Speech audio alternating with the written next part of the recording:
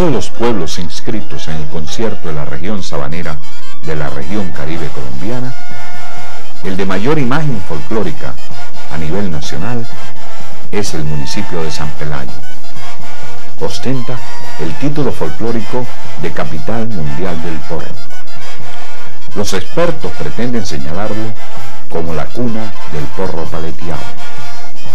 De cualquier forma, lo que sí está por fuera de toda duda es que su Festival Nacional del Porro constituye el máximo evento cultural del ámbito sabanero.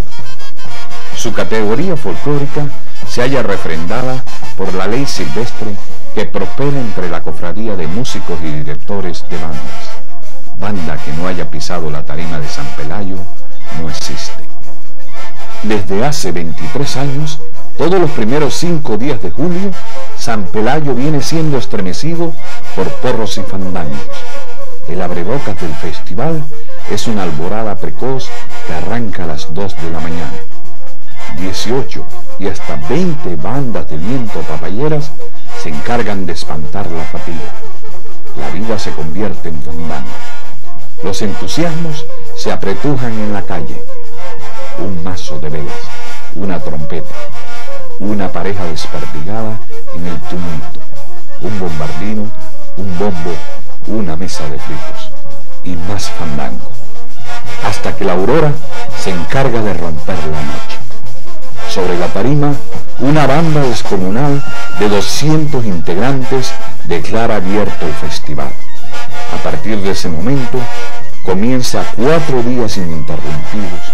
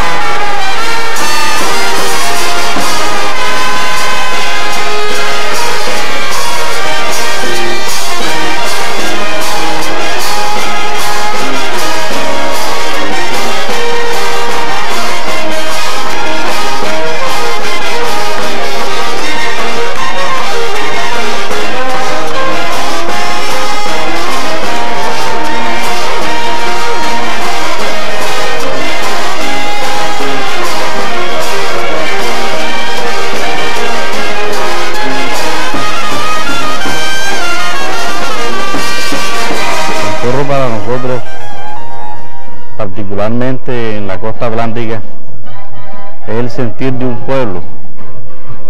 El porro es un ritmo musical que vive con nosotros en las sabanas de Bolívar, las sabanas de Sucre, las sabanas de Córdoba.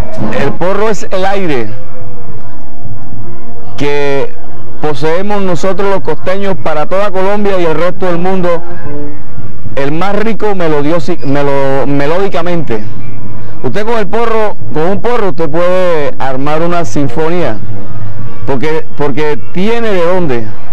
En cambio hay otros ritmos que son muy pegajosos, muy alegres, pero no tienen esa densidad ni esa intensidad folclórica que tiene el porro.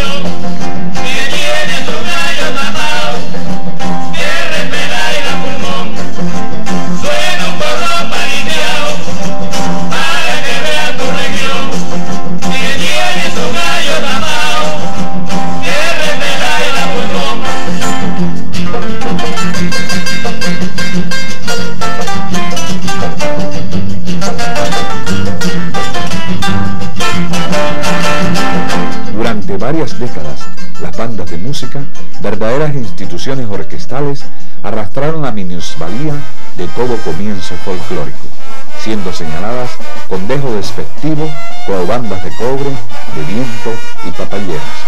El aporte grande que fue cuando nació el porro, en esa época los compositores de porro eran campesinos que no tenían el, suficiente poder económico para comprar un instrumento, entonces armaban las bandas en las fincas y las armaban, ¿sabe cómo? Cortando el palo de papaya, la rama. Entonces con el fitoco, como eso es como si fuera una flauta, armaban su, su, su flauta. De ahí el nombre papayera.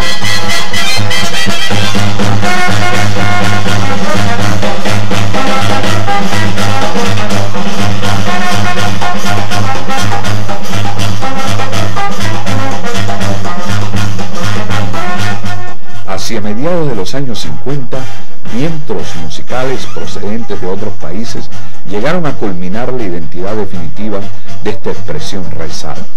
El jazz y la escuela francesa Lucho Bermúdez y Pacho Galán fueron uno de ellos. Si usted escucha un porro del maestro Lucho Bermúdez, usted escucha la influencia de Benny Goodman con su clarinete.